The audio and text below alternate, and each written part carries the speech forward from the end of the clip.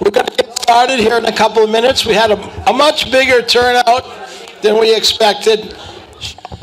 Welcome to the third annual Pelham Bluebird Society. Uh, we call it a conference or whatever. Th- two years ago, this is going into our third year. We started um, and we had just a few members, and now our membership has grown to over 220 people in the town of Pelham. The mission statement we have is to create a bluebird population in Pelham, create bluebird sanctuaries, and ultimately become the, the largest uh, concentration of eastern bluebirds in the state of New Hampshire. We are actually closing in on that goal, and um, uh, I see this is the biggest turnout we've ever had. I didn't expect it to be quite as big as this. I, I fought to, to do a bigger room. I said, maybe we get more people, and I was right. Um, but anyway, this is great. So, how many people were here last year? Oh, we got a lot of new people. That's great. Well, welcome back, and welcome to all of you who uh, are coming for the first time for the uh, Bluebird uh, presentation. We got a lot of things going to happen tonight. We got some guest speakers.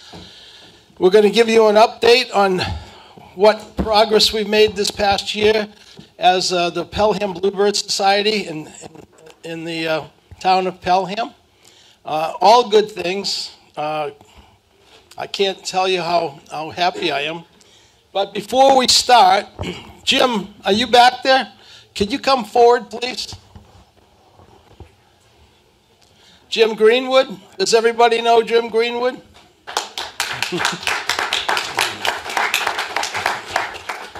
Jim, uh, Jim makes it all work behind the scenes. He's he's one of the best people in the biggest supporter of the Eastern Bluebirds in the whole town. So for that, here's my box? I want you to hold this for a minute. Jim, we have a presentation for you. It says, the Pelham Bluebird Society, in gratitude, recognizes Jim Greenwood for his help and support in promoting eastern bluebirds within the town of Pelham in 2024. Thank you, Mr. Congratulations. Hold on a minute. I'm not done. So I have to put my, my official hat on. I've been coined Mr. Bluebird here in Pelham. So, anyway, Jim, congratulations, and don't go away. Oh, wait a minute, I'm put this mic over the chair. We have a special shirt for you. That's the last one. The last one? That's a triple X right there. That the one? I watched him put it in, you wanna give me the two X? Yeah, I got the two X. I, Yeah, give me the two I X. brought both of them to see which one you wanted. I lost some weight. Congratulations, Jim. Hold it up, show them. So, part of our program tonight, we've got, you've all got tickets when you come in? Raffle tickets? Did Okay. anybody not get a raffle Huh? ticket? Did anybody not get a raffle? Did anybody not get a raffle ticket? Um, Yeah. Okay, Boy Scouts, everybody's got one? Is that right? Okay, don't lose it. Who- All right. It's a free raffle. We got all kinds of things to give away tonight, but let's get on with our program first. Um, uh, I'd like to do one more honoree. Mike Gendro, can you come up here? Mike's cha- chairman of the uh, um, Forestry Commission. Uh, If you hold that for me, I can read that. It says, uh, oh, that's the wrong one. Hold on a second. Put that back. Ah, there it is. Put that one down. okay. This one here is dedicated to Mike. My mic's gone. There we go. Okay, to Mike Gendro, In gratitude for your support and love of bluebirds, we thank you, Pelham Bluebird Society. Thank you. Thank you. Mike wanted to have one, and Mike, you wanted to put that up at the, at the uh, Merriam Farm? Yes. Yep, okay, so we, we have a poll, we have. a- Got my name on? No, but the poll, uh, will, you pick the day, and we'll go out there, we'll create a little ceremony out of it. Sounds good. This will be in the uh, sanctuary. Awesome. Thank you very much.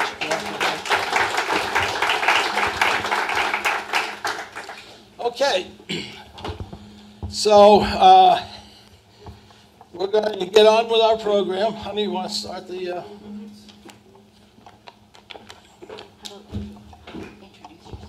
oh, my name is Roger Montbleau. I'm a 50-year resident here in the town of Pelham. I'll give you a little background. Ninth, I was on the plan, I've been on the planning board. I just, uh, uh, went off the planning board after 29, almost 30 years. But in 1995, I was going to seminars to try to find out as we built this town out and we pushed the um, wildlife out uh, into smaller spaces, uh, what the best type of development would be in order to preserve the wildlife that we have in the town. Uh, so I went to lectures, you know, from uh, reptiles and amphibians to mammals, you name it, and I got onto birds. And I went to a lecture in Tyngsboro. There was a woman there, she's passed away now, but her name was Lillian Files, and she had uh, about 85 boxes set up around the countryside. She was in her early 70s, and she rode a uh, moped around doing. Um, uh, monitoring her boxes during, you know, in the beginning of nesting season, making certain there was no nest material in there so the birds could start. And then shooing out all the uh, predator birds along the way as the uh, nesting.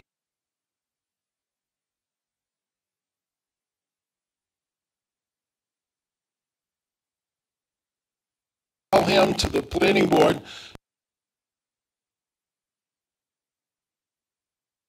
for the, for the uh, planning board here. And then uh, the Boy Scouts, which are here tonight. Is Sanjay here? He is. Sanjay, could you come forward? Ah, that's who was waving to me back there. Okay, back in those early days, this gentleman right here. Nice to see you again. Yeah, nice to see you. nice to see you. Yeah. Yeah, nice to be seen. this gentleman was working on his uh, uh, uh, Eagle Scout, right? Yep, Eagle Project. Why don't, why don't you tell him? Uh, sh- sure. yeah, yeah. So it was back in 1995. Um, I met Roger. I met Lillian. Um, we uh, decided on um, building out bluebird houses for my Eagle project. So we um, so we sourced the material through fundraising. Um, we built 75 bluebird houses, and then uh, we uh, worked with the community, found um, good places to to put the bluebird houses, and uh, yeah, we installed them around town. And I thought we had a pretty good hit rate. Yeah, Yeah. I think it was like well over 80%. We had some nesting uh, bluebirds. So, yeah, very successful project. Great. And I have not seen him since he got his uh, Order of the Arrow. Is that what? Uh, Eagle- E- Eagle Scout. Eagle Scout uh, award. I was there that night that he got it. I have not seen him since that night, and I heard that he was in the area, and I asked uh, the Boy Scouts if they would invite him tonight. We're, it's like a deja vu. Uh, we're doing this over again, and at the, and all these young scouts that are here. He was a young scout their age. It was what 20, 28 years. Yeah, about 28 years ago. Yeah. About 28 years ago, he and I did this, and we're doing it again tonight. Yeah. And the Boy Scouts, and I'll get on to what they're merging with me to do another project here in town, and we're going to get on to that a little bit later. But anyway, Sanjay, it's good to see you again. see you too, yeah. Roger. Congratulations on your. Yeah.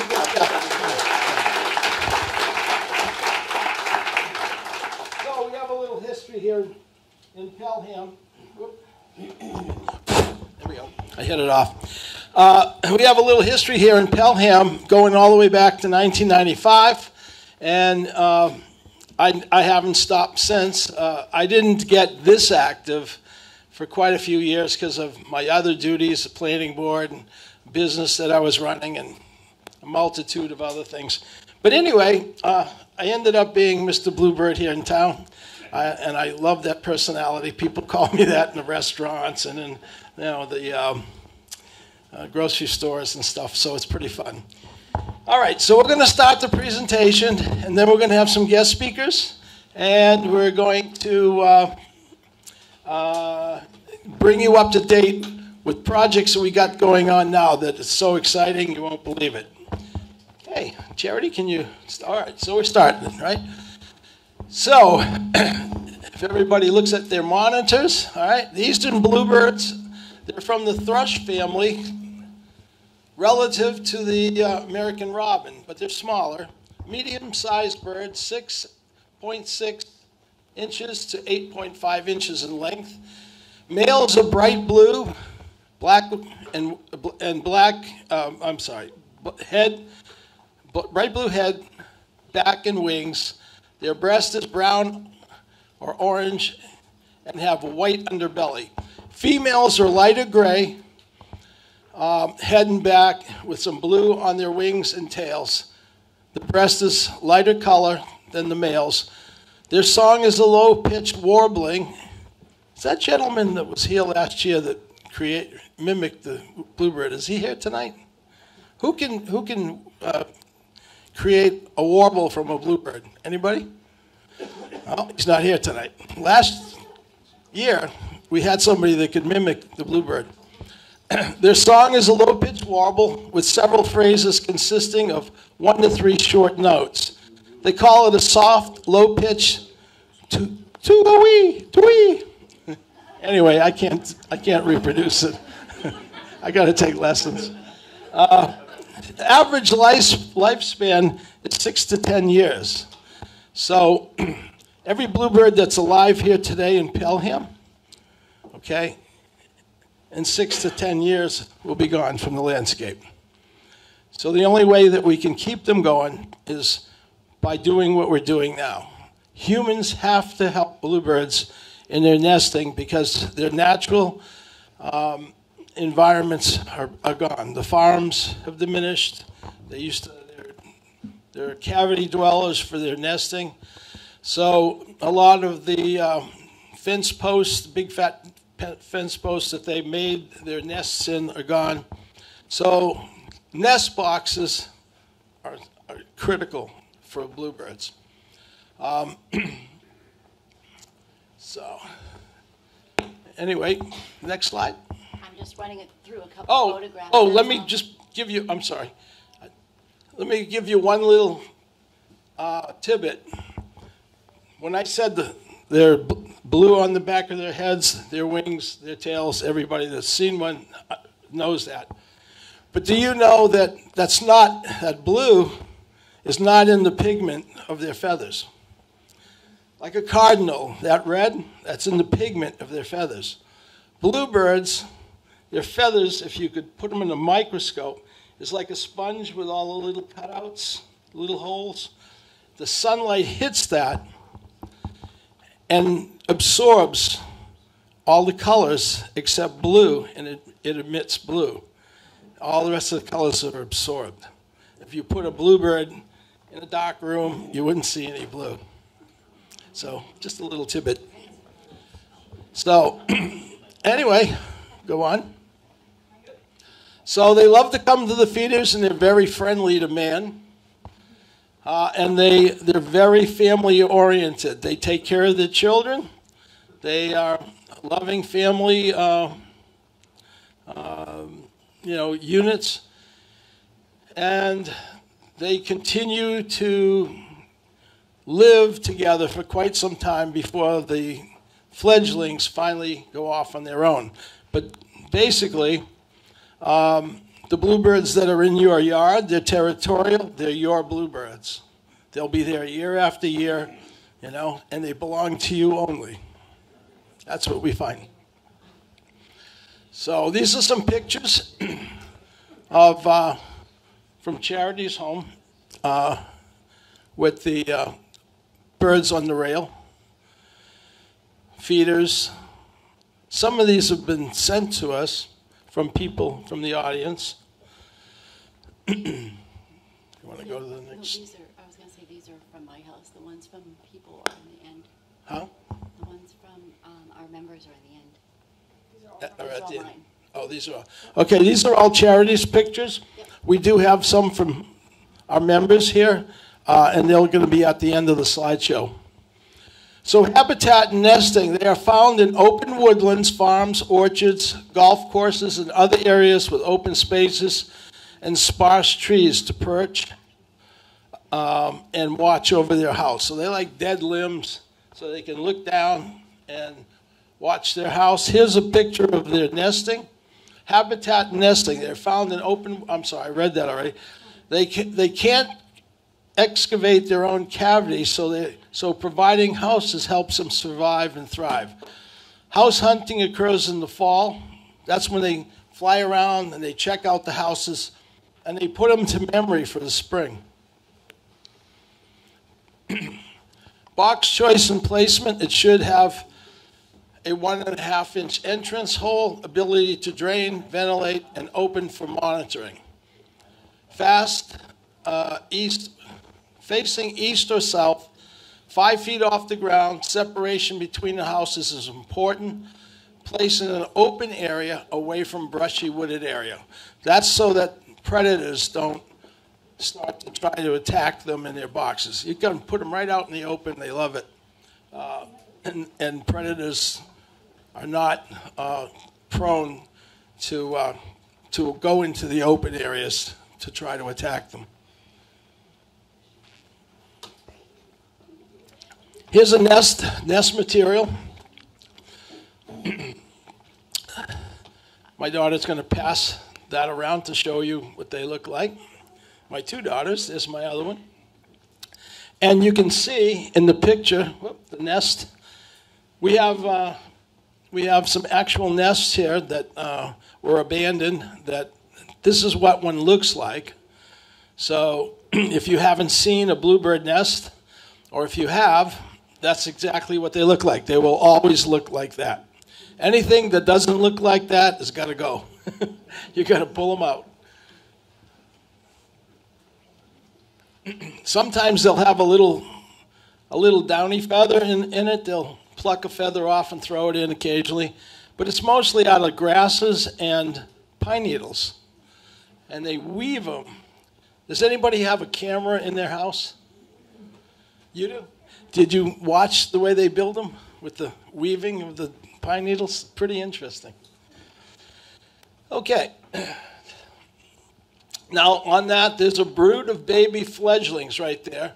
You can see they got their little uh, vests on with polka dots, uh, and they're on the uh, rail. Those are mealworms. That's their favorite is mealworms. Dried mealworms is they like they love live ones, but it's hard to get live ones. But those are dried mealworms, and that's one of their favorite sources uh, from man-fed um, source. So that's the uh, father right there, and they're all lining up because they're too, they're too young to be able to pick one up and put it in their mouth. So he's putting them in there, and then there will be a day that he won't do it anymore, and they'll be going crazy. And then they finally go, wow, they jump on it themselves, and that's how they learn to eat. Next one. You're actually, you're actually already at this point. Hmm? You're already at this point. Oh, okay. So, Maybe you wanna talk about how the female does all the nesting? yep, I'm going to have you do that. Charity's going to explain. Whoops. You get your microphone? Mine keeps going off. I was gonna have Roger explain. Jim, I think mine's dead. There should be a new battery. Yep. There you go. No, you go ahead. Hello? Stop. Check Talk about how they do the dance. Huh? Talk about how they do the dance and they do the. No, I want you to talk. Roger, take the red one. Yeah, take the red one. No, I know. She's gonna. She. I want Charity to explain. All right, he wants me to stand up and explain about the nesting, um, the way that the male and female interact. And basically, when um, the male and female are deciding on a house, they do it in the fall. And you'll see them oftentimes in the fall go to go back and forth to different houses. They're putting that into memory for the spring.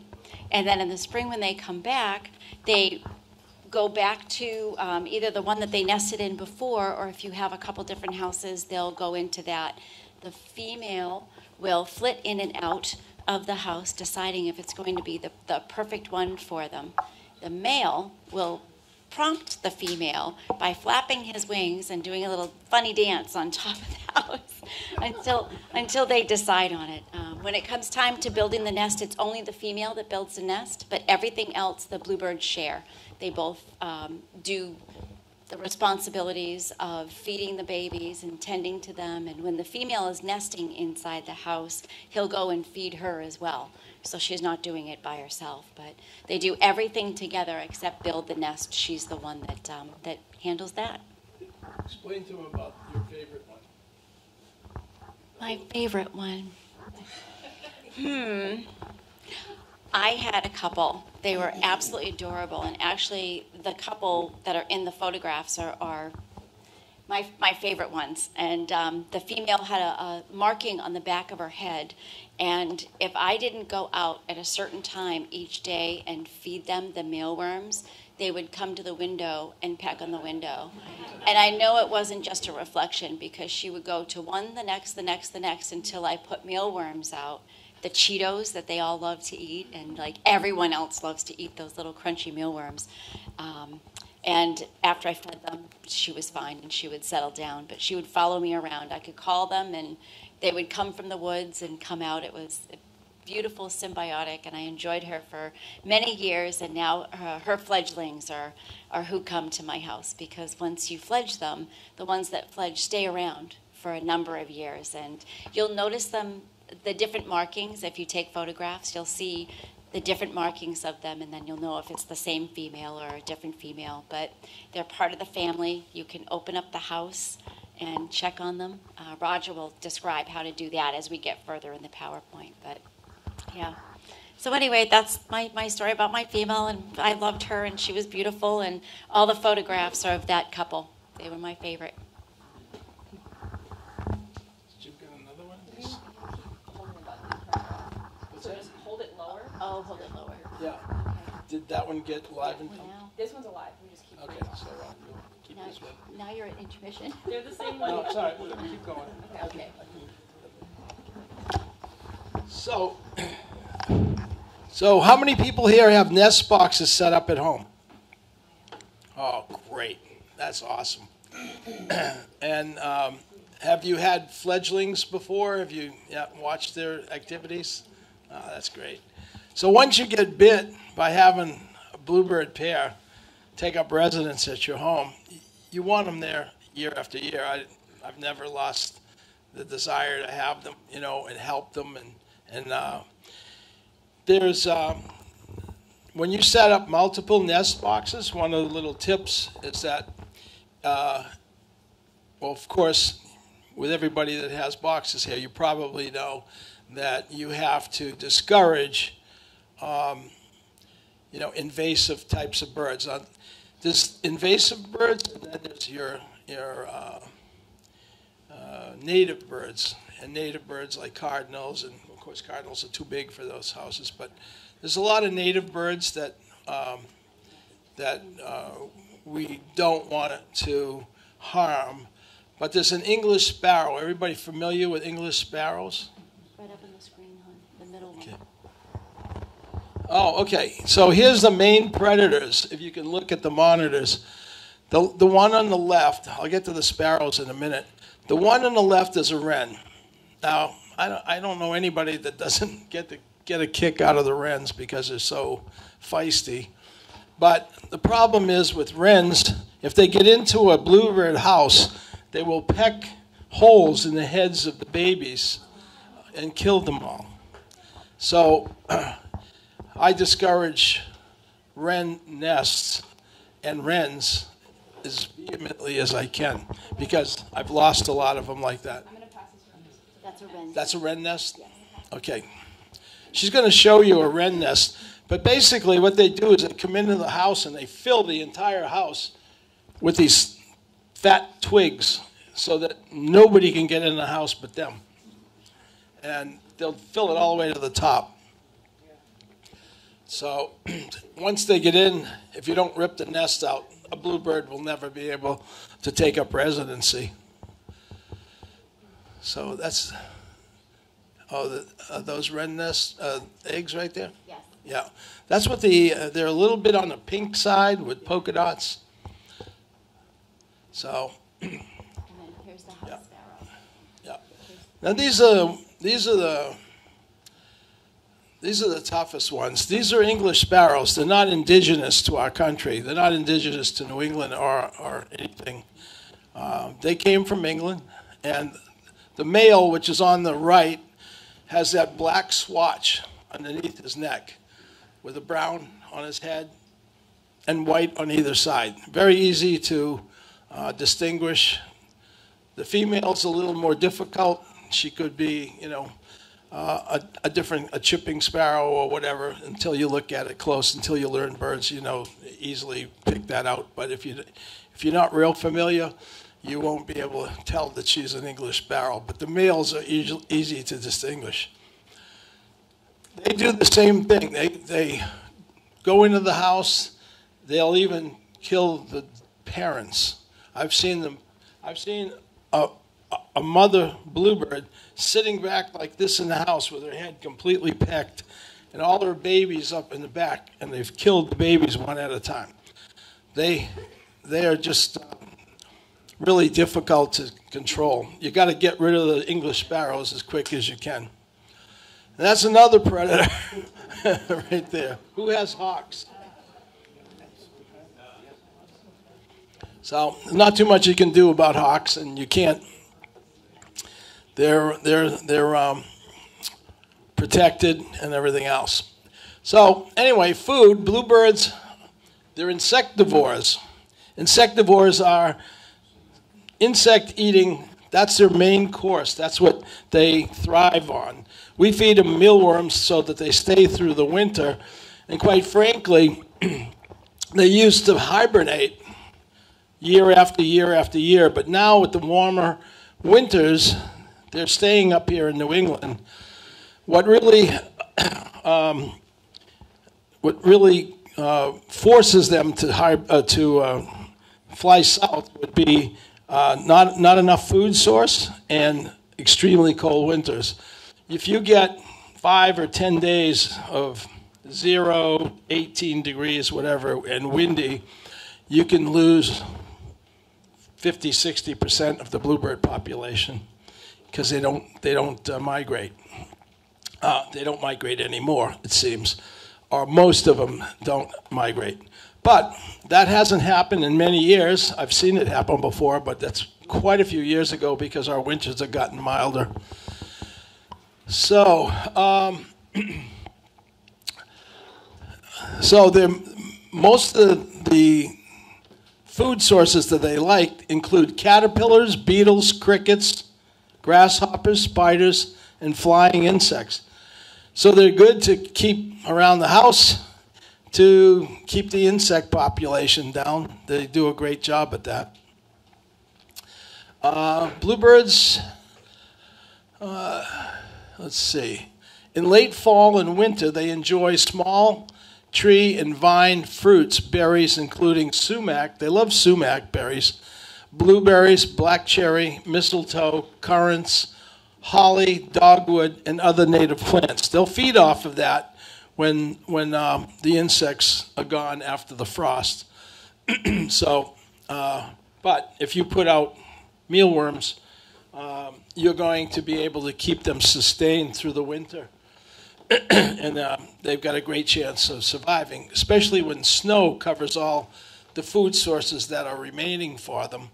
Uh, if you put out the mealworms, they they then can, you know, get nourished through the winter. And there's other things you can put out: cranberries and peanut butter and what else?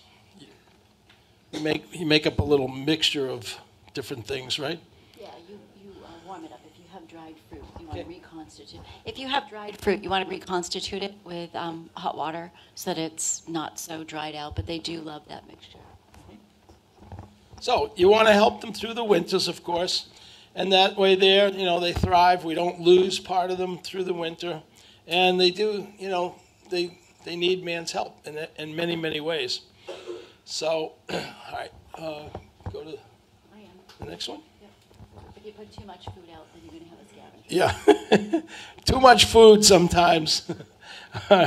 you uh, get unwanted uh, locals that want to come out and feed. Yeah, there's a 22 pound turkey sitting on the rail eating the, eating the bluebird food, and they can eat quite a bit of it. Family time, March, which we're at that point now, early April the mating rituals begin. So, if, if some of you, has anybody here seen nesting material in some of their boxes? Some of your boxes? You have? And was it bluebird in this thing, materials? Yeah. So that's, uh, that worries me because it's so early in the season. So, what happens is if they nest too early, you get a little warm spell, and the nights are not too cold, maybe in the 40s uh, and the days get up to 50s or early 60s, uh, and you get a lot of sunshine. The days are getting longer. They start to trigger their their uh, nesting um, instincts. So I've seen it too, a little bit here and there, not a lot, but the chances of survival of a nesting pair right now is almost nil. First of all, they can't keep the eggs warm enough, long enough, in order to hatch. And if they do, the, it's so cold they can't keep the babies warm enough for them not to, uh, you know, uh, die from the cold, you know being exposed. So if you get any nests right now, I would say you know you don't have they don't have much chance. But latter part, middle, late April, you know you're going to get nests that they're going to be able that they'll be able to survive it. They're getting into the warmer days near the end of April, the longer sunny days, and then you got a good chance. Um, bluebirds will will make about three nestings a season. Not all of them, but generally the ones that are mature will have a, a nesting in April. Again, where June, May, May, and then again in the end of June, beginning of July. I think we saw one in August this year, didn't we? Yeah. So, uh, and that gets late because then they get into the colder weather and the juveniles have a problem with the cold. But if you've got a, a good, healthy pair of females, uh, um, nesting pair, um, you know, you can get three nestings out of them, four to five eggs in a nesting and that means you could fledge anywhere from 12 to 15 baby bluebirds in one season out of one nest box. So that's a pretty good average. Um, and especially, we see that with mature adults that come back year after year that, um, that will do that. They're, they're in the groove. So. At, at this time of year, this one's off.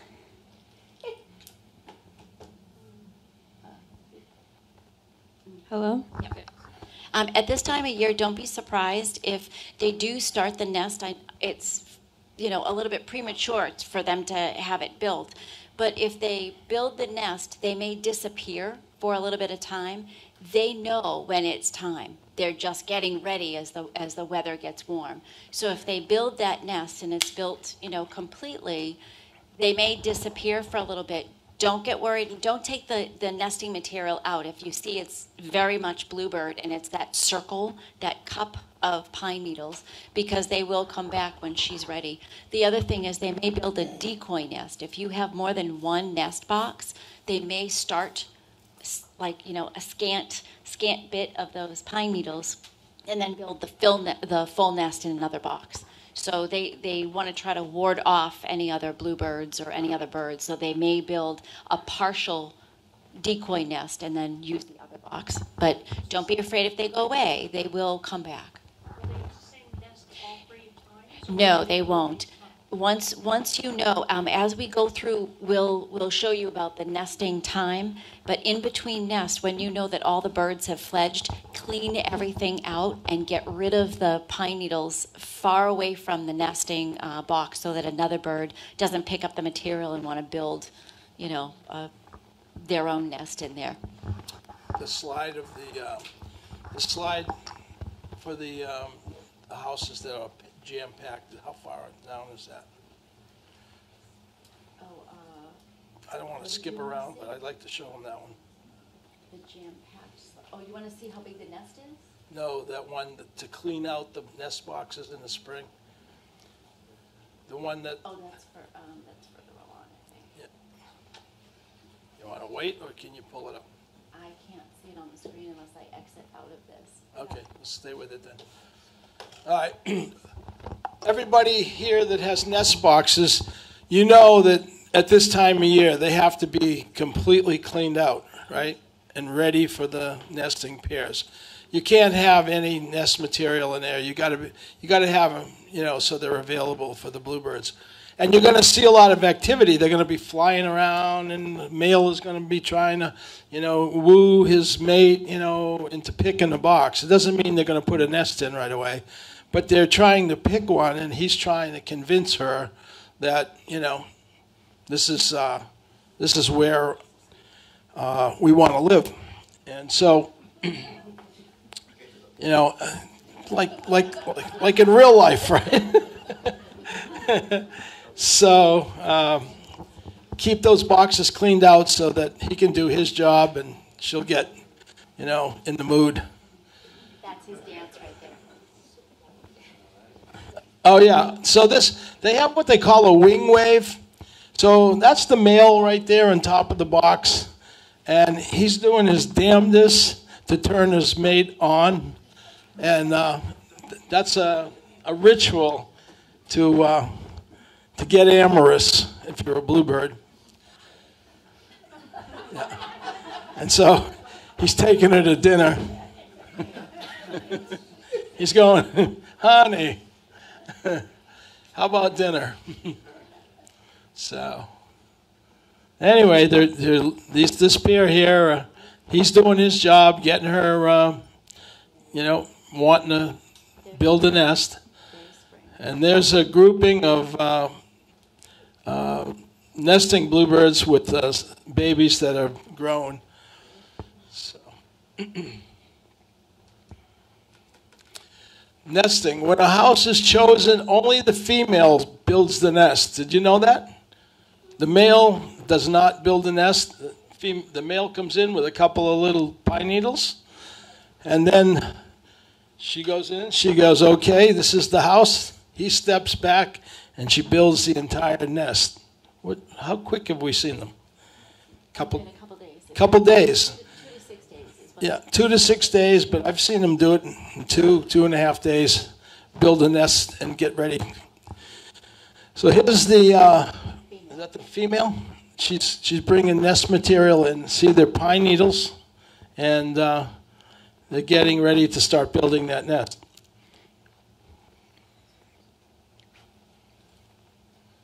Yep, landing on the box, coming in with more materials. It's quite, it's fun to watch, actually.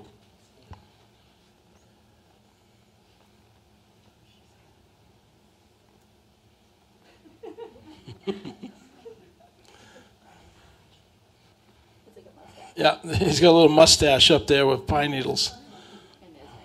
So there's there's a completed nest right there with the pine needles and the and the and the uh, little slivers of grass, and you can see that that bluebird put four four eggs down in that nest. Uh, so egg laying can take five to seven days.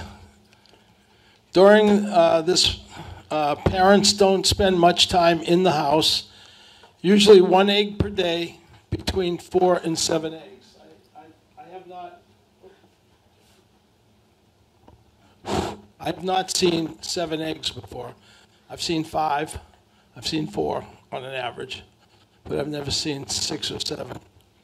Has anybody seen more than five? You have? Yeah, We have six one year. Yeah, Oh, had okay. yeah. They did, they didn't all, um, survive though, but they were there. They were Oh, there. okay, so it's, survival rate is tough when you got more than f- five or four. Okay, the final egg is laid, incubation lasts 11 to 19, 11 to 19 days. Bluebirds are friendly and don't mind if you check on their progress. I used to open the houses up when they were out feeding and look, check and see if there's any eggs cracking open yet, you know. So they don't, they don't disappear if you open their house up and look in. She'll show you how to do it. Okay. Clover's going to show you, demonstrate the proper way to open and check them. So when you're.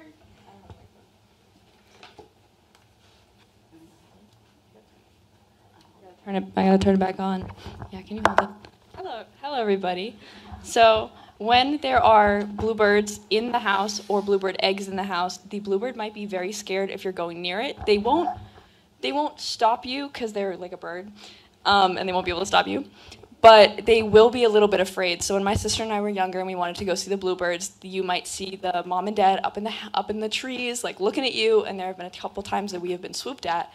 But if you do want to check on the bluebirds, what you want to do if you don't know the bird is in the house, or just anytime, just assume the bird might be in the house. You want to you want to put your hand over the hole because if there's a burn in it, they're gonna freak out and you're gonna get pecked. So you would it would be better if your hand's there versus your face right next to the hole. So you're gonna cover it. You're gonna wait a couple seconds. If nothing happens, that means there's no bird in the house. There might just be eggs, and then you would then open it up, peek inside. Don't be greedy. Just look for a couple seconds. Do not touch anything in the house. Do not move anything around. Don't try to like look and see if there's eggs because if there's eggs, you'll be able to see them. They're not going to be hidden. And then you're going to close it back up and walk away. Walk away. Yes. So the whole covering is to one stop you from getting a bird in your face.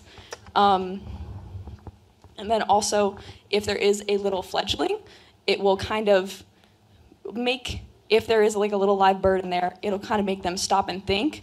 So if you open it really quickly, they might jump at you because you startled them. So covering the hole and then carefully opening opening it up will make them not that you want them afraid, but it'll make them a little bit afraid and they'll stay where they are and they won't jump out of the house. So then they'll be good. She's right. But when you open it up, open it very slow. Open it very slowly, and what they'll usually do if they're little and they're not big enough to fly yet, hopefully you don't want to open them when they're too advanced. But what they'll do is hunker down, and then, and then I mean I've even gotten to the point where they get used to me coming to look at them, and I've, I've petted them, you know, and say, hey, how are you doing this morning, you know. So, you know, what?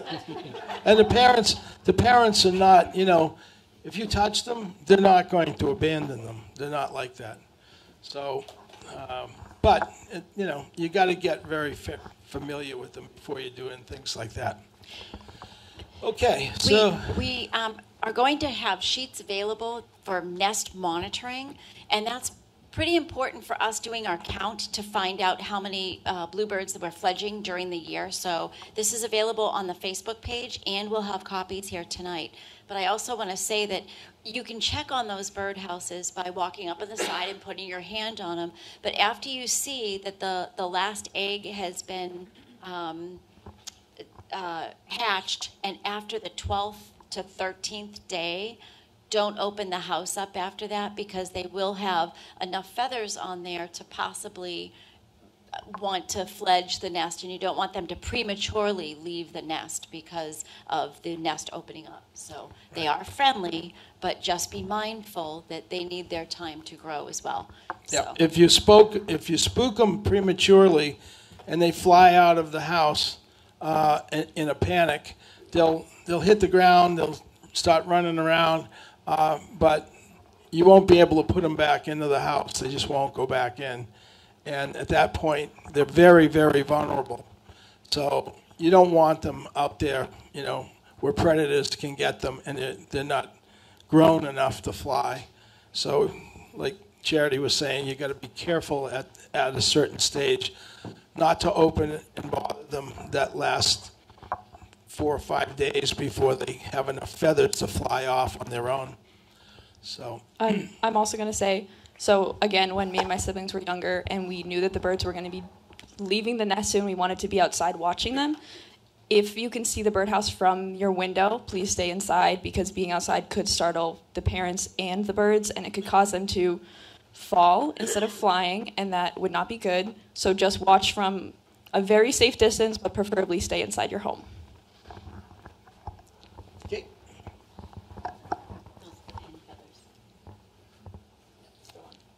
Let's, let's finish. the- Let's go through the rest of the program, and then we're going to get our guest speakers up. I was going to say, this is what the pin feathers look like uh, when they're getting ready to fly. You get a picture of that? Yep, I just showed it.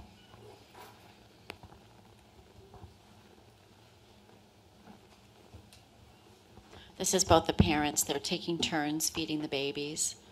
There's the mom with the baby. Um, that one's looking like it wants to fledge. And then we have the progressive slide here that shows um, as the baby's getting ready to fledge, that was the first flight. And um, they like to go into brush that's close by or low hanging uh, branches. But if they do land on the ground, the parents will still tend to them until they feed on their own.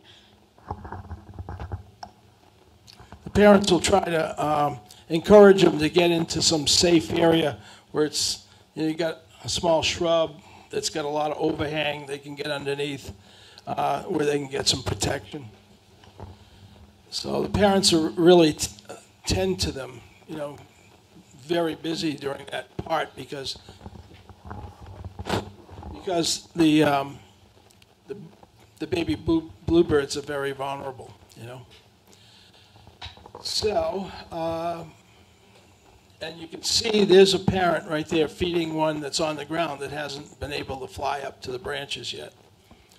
And there's some up in the trees that they're feeding. So they'll be all over the place for a while. And if you stand outside, you can hear 'em beep, beep, beep. They're calling to the parents, so you can find, you can spot them where, where they are, you know. Parents, parents continue to care for the fledglings several weeks after they leave the nest as they learn to catch insects on their own. They teach them about their human family too. So if you're compatible with them, if you've learned to be, you know, exposed with them and you know, they come to the feeders and they're not spooked by you anymore, they'll pass that on to their fledglings. So. And there's a, a little juvenile right there. The father's still feeding them, and they squawk like hell. but uh, you know, there's a point where they just go, "Pick one up yourself," because they're all over there. Know. All right.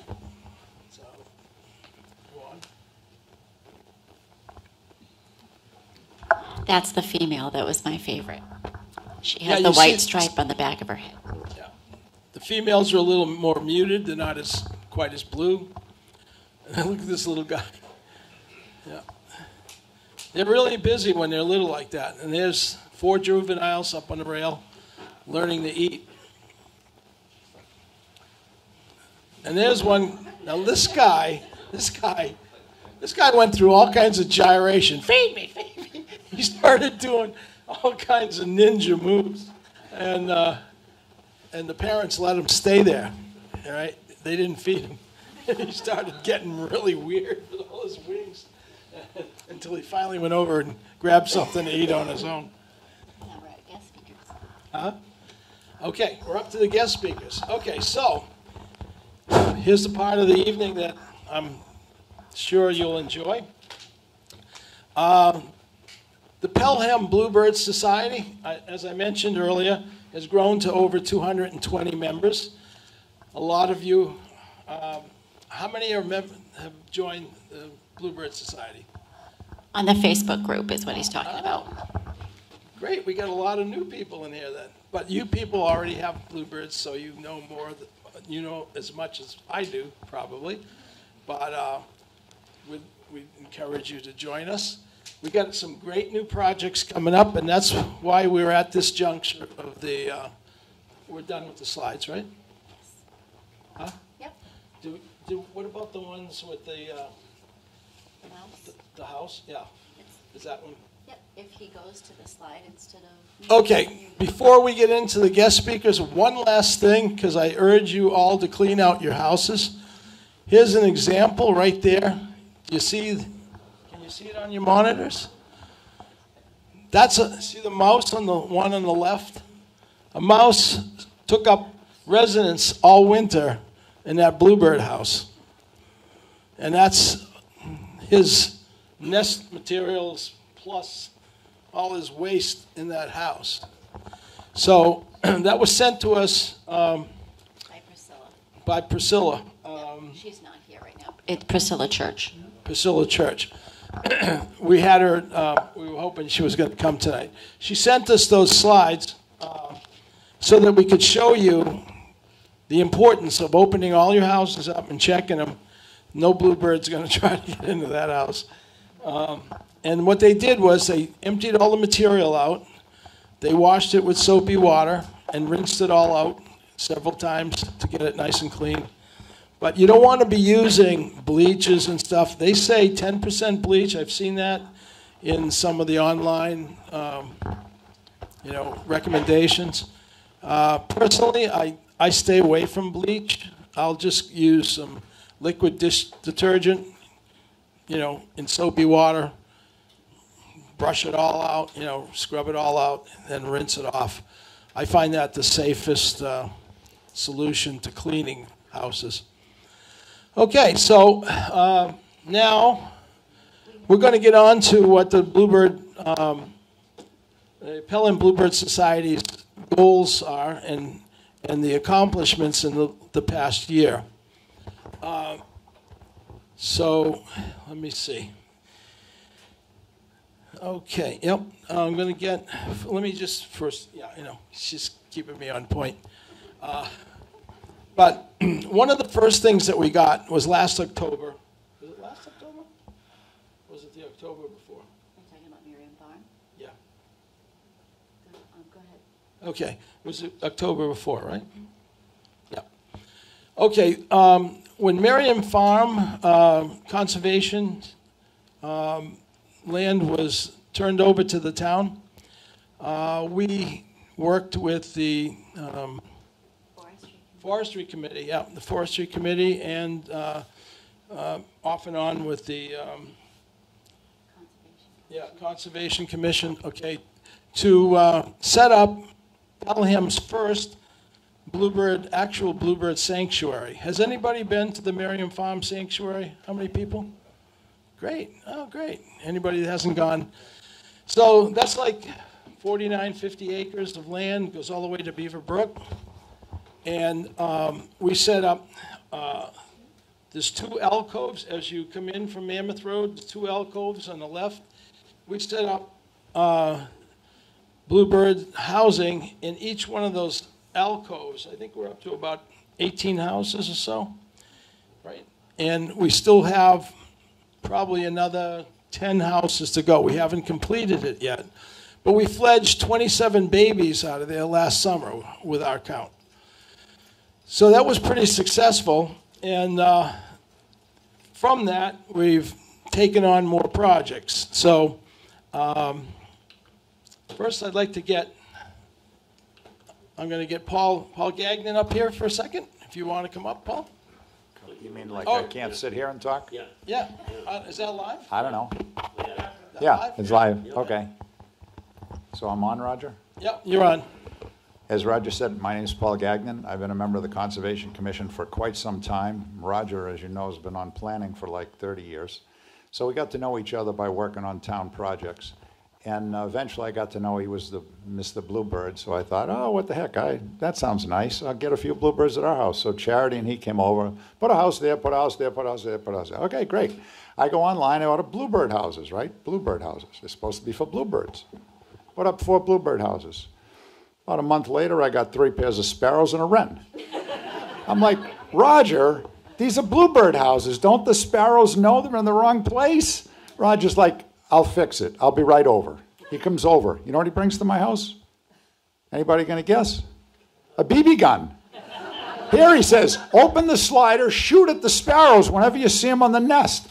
So I, I like target practice. I'm shooting at the sparrows. Yeah, didn't hit any, thankfully. Then he's telling me how to kill them. I'm like, Roger, I started this to raise, to, you know, to help the bird population. Like the bird population in the United States is down 30% in the last 30 years. Okay, because of what you said about bluebirds, the same thing for all species. They've, they've had less habitat. Well, anyway, I wound up killing one. That almost led to a divorce. My wife, who happens to be on my right, is like, What are you doing? You just smashed the poor sparrow up against an oak tree and threw the carcass in the woods. I'm like, Well, Roger told me I got to kill him. She's like, Not in my house. All right, so I'm not going to kill him. So what am I going to do now? So sparrows would go in the nest. I would take the nest out. I'd put a plastic bag over the nest, close it down for a couple weeks, then open it back up and hope like heck I got a bluebird before the sparrow came back. First year I wound up with one pair. They laid eggs. Unfortunately, we had a big project going on in the backyard. We scared them off the nest on a cold day. To Rogers Point, the eggs got cold. We didn't get anything. Okay, that year was a waste. Last year, we also got a pair. This pair raised young and fledged. Don't let Roger know, but a wren hatched young in another nest, and I like wrens. I don't want to be ejected from the Bluebird Society, but I did raise young wrens last year. They have a beautiful song. They're a songbird. And wrens and bluebirds can live side by side because they were in two adjacent nest boxes, and the bluebirds raised theirs and the wrens raised theirs. Anyway, this year, though, I have two pairs that are coming to my four houses, so I'm still only 50%. But I have two pairs coming, and I'm helping with the profits at Beaver Valley because I'm buying like 11 pounds of these doggone mealworms.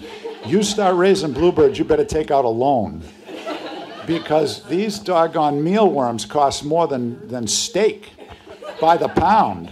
This $70 for 11 pounds. Have you ever bought 11 pounds of steak for $70? That's seven bucks a pound. That's pretty good steak. so I just bought 11 pounds of them. Anyway, I got these out there. I figured out how to feed them. Got two pairs coming, so I'm very happy. Now, what makes me even more happy is when Roger talks about Merriam Farm, because I had the pleasure of negotiating the deal on Merriam Farm with Fred Merriam, the son of the person who owned the Merriam land on Mammoth Road. This is a family that's been in town since the 1600s.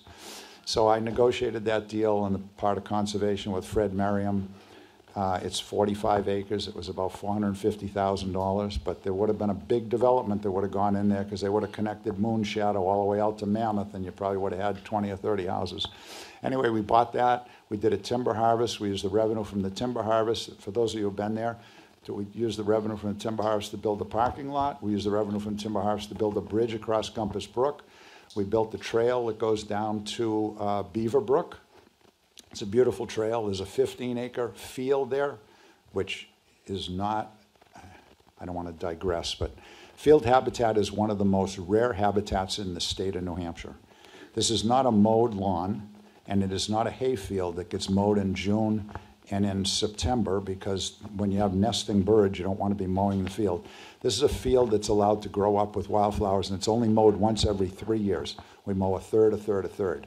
So two thirds of it aren't being mowed, and that can seed the third that you mowed. Anyway, it's beautiful the way it works with, with Rogers Bluebird uh, nests because he picked two alcoves that are out of the way. They're not in the middle of this big 15 acre field. So the people who are attending to the bluebirds are not disturbing the wild birds in the field that are, you know, maybe nesting on the ground. It's just the perfect combination of things. And I'm delighted that you were able to take advantage um, of the Merriam Farm, just find another use for that beautiful piece of property. So um, I guess with that, I'll turn it over to someone else, Roger. Yep, okay, and I'll introduce him in a second. Um, Paul is right, he, um, you know, they, that was our first um, Bluebird sanctuary. I guess you would, you know, we set up a sanctuary for bluebirds there. It's worked out extremely well. We weren't thinking much beyond that, and then all of a sudden, it mushroomed out. Um, after that, um, yep. After that, we were, we were called to go to the um, celebration. Celebrate, yep, I couldn't think of there for a minute. Uh, Yvonne was in charge of uh, the, um, Celebration. Park. Yep, she ra I'm going to have her speak to it here in a second. Anyway, she invited us to go over and become part of the Celebration Park over at the Hobbs Community Center. They put pickleball courts in, they did extensive landscaping, and I went over there and crafted a bluebird sanctuary. Uh, And they have benches, and they have observation areas, feeding areas, and um, there's bluebirds in, I was- I was over there recently, bluebirds are flying and landing on all the houses, so we're going to get some activity there. So why don't you explain how that all came about? Can I use this? Can you hear me? So just to start off, um, I've known Roger since the 1980s, and he probably doesn't know this, but I am from England. So just like the British wren, I am not indigenous to the area, Roger. So I hope you don't kick me out. Uh, Anyway, um, my name is Yvonne Lagarde. I am the chairperson of the Pelham, New Hampshire Council on Aging, also uh, the chairperson of the newly formed uh, Community uh, Trail Coalition Committee. So I want to just thank you for listening to me today. And I'm going to talk, I don't know a whole lot about bluebirds, so I'm going to talk about how bluebirds have created partnerships that benefit our community. Um, so I would like to talk about the remarkable partnership between the Pelham Bluebird Society, the Council on Aging, and the Community Trail Coalition. Uh, Roger asked me to speak about an hour and a half ago, so I, I had to write this speech, and I, I'm going to read some of it to you. Well, I, I didn't want you to add to Paul's euthanasia. right. Okay. Well, anyway, we're embarking on a journey that not only enriches our community, but also safeguards the natural world around us. In this rapidly developing world where urbanization threatens our natural landscapes, it's become imperative to create sanctuaries for our local wildlife. And the Pelham Bluebird Society stands as a beacon of hope tirelessly working to provide havens for our feathered friends, particularly the eastern bluebird population here in Pelham. And Roger, I, I just really applaud you for being the father of the Bluebird Society. Um, through the installation and maintenance of nesting boxes at vital locations like the Merriam Farm Conservation Area and our Celebration Park at 8 Nashua Road uh, at Hobbs Community Center, we're not just putting up wooden structures. We're weaving a tapestry of coexistence between humans and nature, ensuring that these beautiful birds have a safe place to call home. And I'd like to do a shout out to Rick Davis, who's a pickleball champion, but also a volunteer who cares for the bluebirds at the Celebration Park. Every single day, he's out there caring for them. Um, our efforts extend beyond conservation alone. The Council on Aging recognizes the profound benefits of connecting older adults with nature. We understand that nature is not just healing, it's invigorating, inspiring, and it's endlessly fascinating. And that's why we joined hands with the Pelham Bluebird Society, opening up avenues for older adults to immerse themselves in the wonders of bird watching and the tranquility of our conservation lands. Moreover, our Community Trail Coalition, which the Council on Aging sponsors, underscores our commitment to inclusivity and accessibility. By creating friendly trails in our community, we're breaking down barriers, enabling people of all ages and abilities to partake, to partake in the joy of outdoor exploration. And the Bluebird Society is helping us do that. This collaboration is not merely about installing bluebird houses or repairing trails. It's about fostering a deep connection between generations, between humans and nature, and different organizations united in a common goal. So as we gather for our Trail Cleanup Day in April 27th, and yes, I'm promoting it, uh, we're not just tidying up a park at Pelham Veterans Memorial Park, where Roger is going to be installing bluebird houses in the field. Yep, that's, that's our Uh, next That is our project next that Yvonne has invited the Pelham Bluebird, Bluebird Society to engage in. So we're inviting you to join us on April 27th, uh, 9 to 12. Uh, We're trying to sow seeds for a brighter, more harmonious future for us. So we're together, we're creating spaces where older adults can find solace in nature, where conservation efforts flourish, and where eastern bluebirds soar freely. By supporting our partnerships between different organizations, we're investing in their present and we are investing in a legacy of compassion, stewardship, and unity. And thank you, Roger, for helping us be part of this journey. I hope we continue to work hand in hand, nurturing our community and our planet for generations to come. So, Thank you, Yvonne. Thank you. Now, can you imagine if I gave her a day to prepare?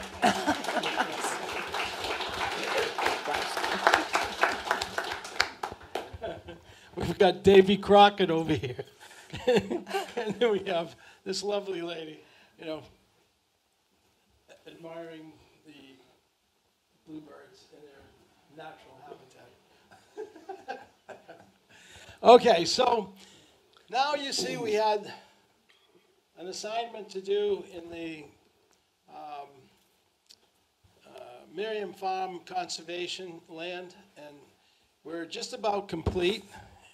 I will bring up something. Uh, There are uh, inscriptions on some of the boxes. So if you want, if anybody here wants a legacy box in the Merriam Farm, uh, we have probably half a dozen of them already, but uh, I'm not sure how many. Okay. So we have forms here.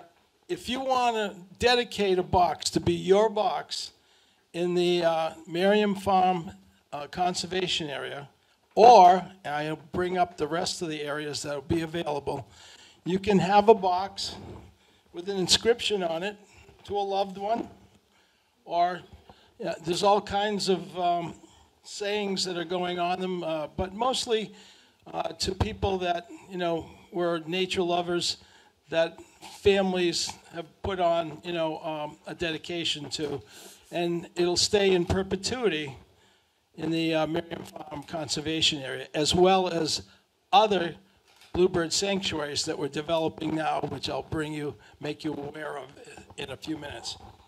So, forms are here. Um, legacy boxes are ninety-five dollars. That covers everything: installation, inscription, box, pole, and the labor. I do the labor for free.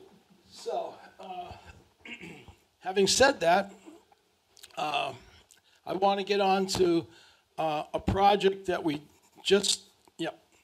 So Sean Cunningham is uh, uh, the manager over at the, uh, of all the cemeteries here in Pelham. Six, if anybody doesn't know, we have six cemeteries. The largest and most developed one recently is the Gibson Cemetery. And Sean is doing an incredible job. He got a hold of me and he said, "We want to do a sanctuary here in Gibson." Uh, there was bluebird boxes there before, and the person that tended to them is now deceased, and we would like you to, you know, develop that program. So we have 21 boxes. Actually, 19 are installed. I have the other two in my car for him and I to do. We did them in the winter. We get a warm day. We go out there, bang through the frozen ground. Sean did all the banging. I just held up the box while he installed it. But, so can you imagine pounding 19 poles into the ground to put, you know, we had to do them in different days because it was uh, tough getting through the frozen ground. But I want Sean to explain how he, this man loves bluebirds. The cemetery is full of bluebirds. We finished the Gibson Cemetery, and now we're moving from cemetery to cemetery to cemetery. So if you want to explain, you. Correct, I have, I have it. Yep. Hi, everybody, Sean Cunningham, how are you? Um, I'll be brief. Yvonne had an hour and a half. I was eating a sandwich when I was told, so. I heard my name and I came up, but anyways, um, we're new to it, and like he said, we had, we had some boxes at the cemetery, and as we were doing the maintenance and mowing, we would see a lot of bluebirds flying around, and I really thought it was neat. And the, the older gentleman in town, Al Duchamp, I'm sure a lot of you people know, um, they started neglecting the boxes as he took ill. In the boxes, um, other birds moved in, wrecked the boxes, the boxes rotted. And I saw an ad in the Evergreen, the Pelham Evergreen, with the Bluebird Society, so I decided to email and contact someone. And um, a few weeks later, Charity came to the cemetery and spoke with us, and we made a plan to get going. That's when I met Mr. Bluebird over here. He came over, and we, we made a plan, and um, th- that's what we did. We, we started late fall before the weather took to cold.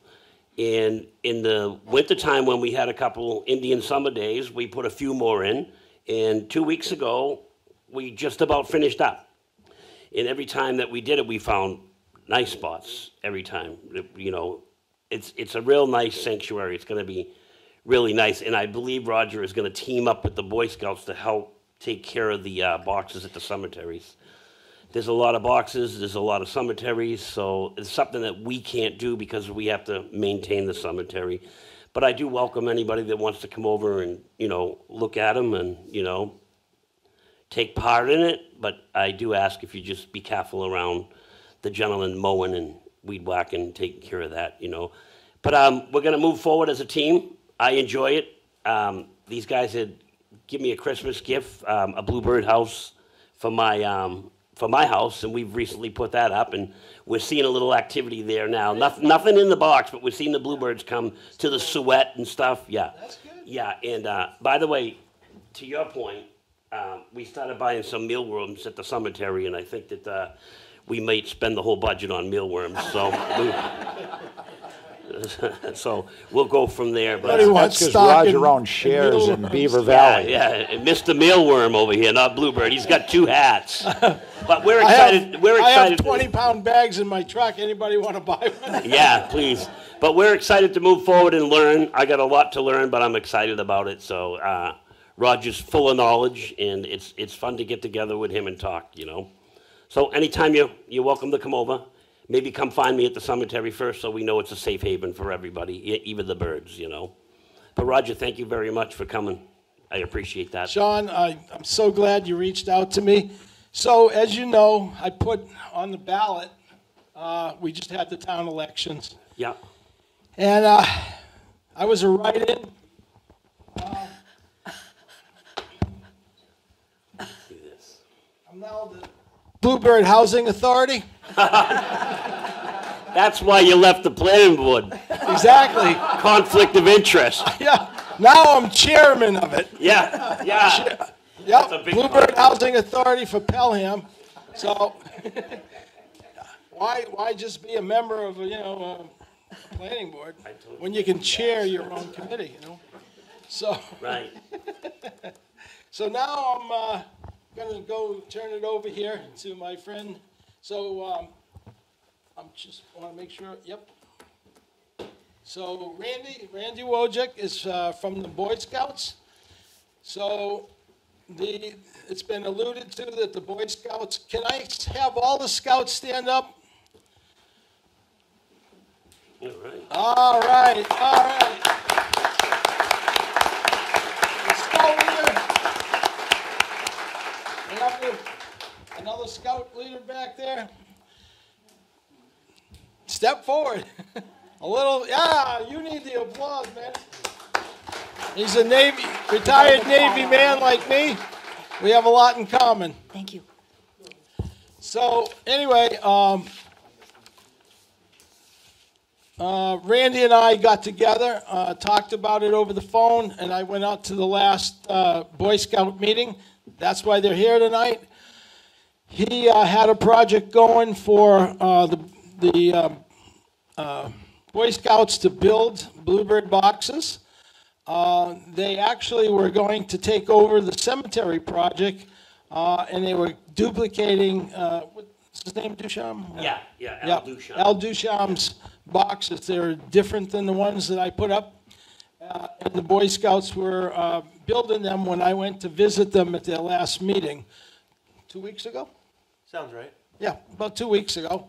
So Randy and I uh, collaborated on the next uh, uh, project that we wanted to take on in the town, and that was to do Raymond Park, where the Boy Scouts are housed over there in that building. What building they call it? Uh, we call it the Scout Lodge, but it's Raymond Park. Yep, Scout Lodge. So that's where I went that night to, to see the Boy Scouts building the boxes. I asked them all to come, they did. And I hope that, you know, this was kind of, um, you know, uh, a good uh, night of taking in information on, because you guys are building the boxes now. A week ago, um, Randy and I walked through most of Raymond Park. I had a can of red spray paint. We hit little tufts of grass here and there along the wood- woodland. Uh, He and I walked it out so that the boxes that they're building right now, we picked out the locations that would be best for bluebirds to nest in. And have they put them up yet? Not yet, right? Not yet. We still need to. Uh, I'm going to turn this over to those. Randy. Go ahead. all right. So uh, thanks for inviting us tonight. Tonight. Just making sure you guys are still awake. Uh, so we built one round of birdhouses over the winter, and we were building the second one when Roger came. Um, pointed a few things we need. Uh, the big thing we didn't have is the hole in the front to make it double wide to prevent predators from coming in. So we need to make that change, and then put like a wire mesh in the bottom. So when they build the houses, it's not on the bottom, and that helps with like little parasites that may form. If it gets in the nest, it'll fall through the wire, and it won't be in the nest, and it won't latch on to the little ones. Um, so we look forward to uh, you know putting the houses we made outside because Raymond is pretty big. Uh, some of those Boy Scouts tonight were Cub Scouts when we built when we built the bat house that's out there. So uh, they, I mean, they like building stuff. They like having fun and doing stuff for the community and conservation-minded stuff. So we appreciate the uh, project and the, the help you're giving us. Well, there's, there's no better organization for good young Americans, good patriots, than the Boy Scouts. And they deserve, the Scoutmasters deserve a lot of credit. And Randy was friends with Sanjay back in the day. And one of the things that I put to memory was Randy said I, we were shooting hoops or something, and, and Sanjay would say, Hey, I got to leave. I got to go build birdhouses. And that was with me. so 30, 20, almost 30 years ago. So when he said that, I couldn't believe that the connection was there and that the tradition of the Boy Scouts is continuing. Uh, when um, I'm retired now, but when I had my company in Lowell, I had about 35 employees, and whenever I got an Eagle Scout that came in to apply for a job, automatically he was hired. Did you hear that, boys? He was automatically hired. Okay? I, I said, tell me about yourself during the interviews, and you know, I had one young man who was an Eagle Scout who came in with very little uh, skill set, but had the desire. I had him, and it was in the automotive trade, and I had him go back to an automotive college. I asked him, I said, I will hire you, but I don't have room for, you know, you know to teach I, right now because we're so busy. But if you go back and gain some knowledge, he went back for two or three years.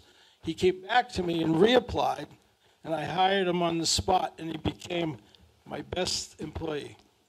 So there's a lot to be said about Eagle Scouts. They're, you know, they're near and dear to my heart. So keep up the good work, boys. And we're going to work together on some bluebird houses, right? Attaboy. Okay. Thank you very much, Randy. Thank you. Really appreciate it. So, hang on now. This is the fun part, right? We got anything left?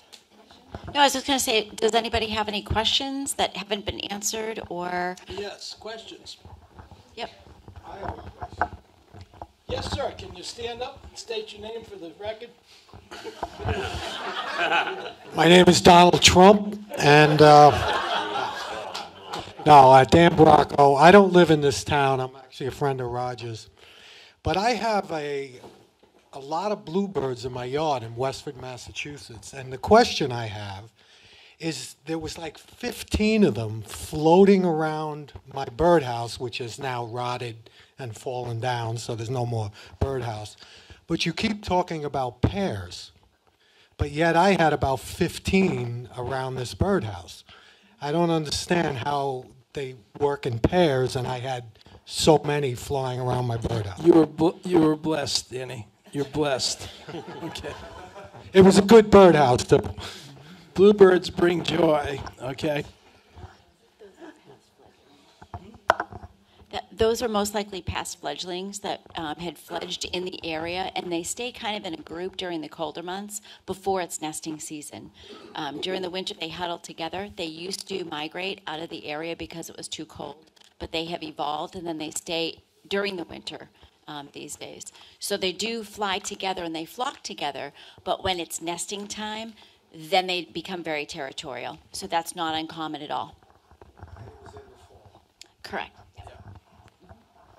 Any other questions? Yeah, Brian Smith, um, you said that we had to put the the house, the uh, boxes out during the fall. What happens if you put them out now? Is it Oh, yeah. You can put them out any time of the year. The fall is good because they're looking for their spring houses, so they'll make a mental note, but any time of year is good. Yeah, but they won't use them now this, this time of the year? It's, it's, Come out now, they won't use, they, they're not, no, they will. It is- Yeah, you know, they'll, they'll use them at any time of the year, and even, um, they may do one nesting in a particular box, and then for the second nesting, they may nest in the tree in an empty cavity, or come back to that same box, but, um, or use a different box. They're, they're fickle that way, but any time of year is a good time to put up a box, they will find it, and if they don't find it during nesting season, they'll find it for the next nesting season just keep it clear of all other nesting products, you know, uh, twigs or anything that's not pine needles and soft grass. Just keep it cleaned out until you see bluebird nesting material. Yes. John Faribault. Um, I bought a birdhouse over at uh, Beaver Valley, right? Um, you've done a lot of talking about putting it up. Okay, I want to put it up, and I want to know what is the best. Um, notice that it's about my height that you're putting them in. I noticed that they're on a, um, basically almost a a green s- tent stake, a fence stake. Yep. Right? And how, should I put it in the clearing, like over my leaching field or something like that, where it's open? Because I have a lot of woods in the area, and that's one of the areas that's open rather than my lawn. Yes. Um, it's, it's always good, those, those stakes are, how tall are the stakes? About five and a half feet. Five and a half feet is where you want the box so that it's tall enough off the ground. Um, Fi- That's just a little over my head. Yep.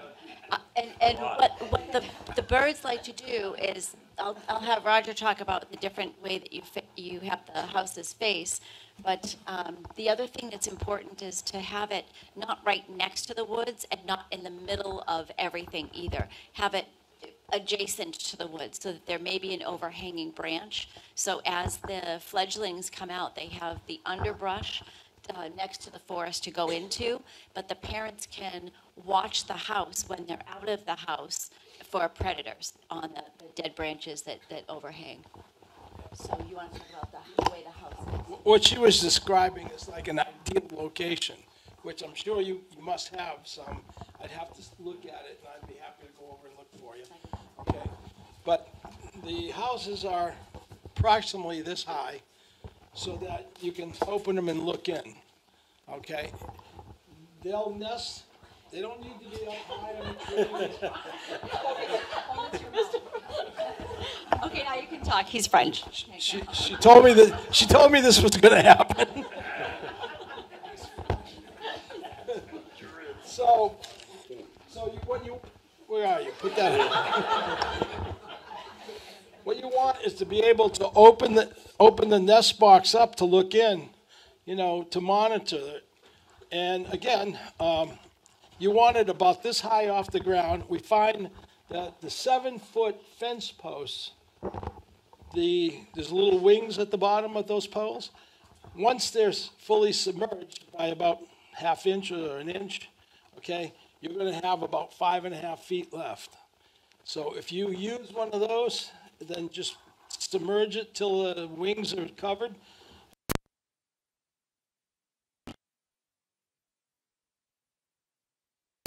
The green fence post has holes in it. So what you want to do is just get a little drill, two uh, wood screws, you know, self-tapping wood screws. Just make sure they're not too long so they don't go in and impale the babies, you know. So, uh, and that's it, really. And, and so you want it to be able to open and look, you know. You might want to put a little soap a- along here if you want, just to keep it from being too tight, you know. And then you get a lock right here, right there, and so, so, you know, they, the wind doesn't blow it open or something like that. There, also may be a, a covering for that green stake that you might want to put over it. Mr. Kelly in the back had a, a problem with a raccoon. I'm going to have the girls take the microphone back to Mr. Kelly. Um, he came up with a solution to put around the green post so that you don't have a raccoon uh, climb up in and cause the demise of the babies. Yeah, I had a, problem with a raccoon taking my first brood out of the house last year. Um, so what I did was on one of those U posts to to mount the house, I put a uh, just a section, a two foot section of stove pipe that I just got at Lowe's. Um, drilled a couple holes through the the, uh, the sides of it and mounted it with uh, through the holes on the pole with uh, some 14 gauge fencing wire from Tractor Supply. Perfect. The last thing you want to have happen is after you raise your babies and then to have a raccoon climb up and, and cause their demise. So it's always good. So another thing is, uh, you know, the um, garage door grease, you can come up about two and a half feet, two and a half feet from the bottom, just paint it on, and that way there, you can, uh, predators won't, and the garage door grease lasts a long time, doesn't melt off in a hot summer or whatever. And don't put it up too high so that the bluebirds hit it, get it, get it on their wings. But if you put it below that, a number of things happen. Ant colonies won't come up into the house, which happens. And then raccoons and things like that will slide down, chipmunks, mice, snakes, all kinds of stuff. So I use, I like to use, because it's quick and easy, uh, garage door grease. It's, you know, it's like little, uh, it's like Vaseline almost.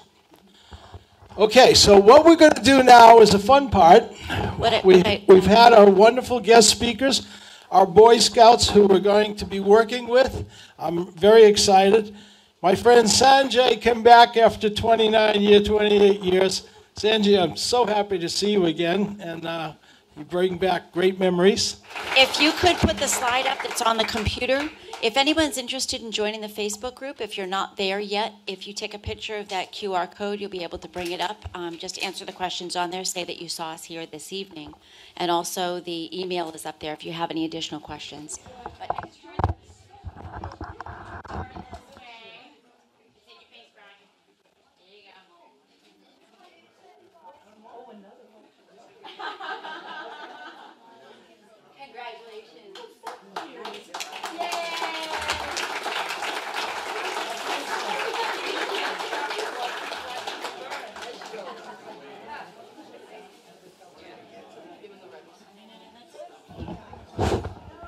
Well, I'm sad to say, sad to say that that concludes tonight's program. Thank you, everybody. Thank you. Good luck. Clean out your nest boxes.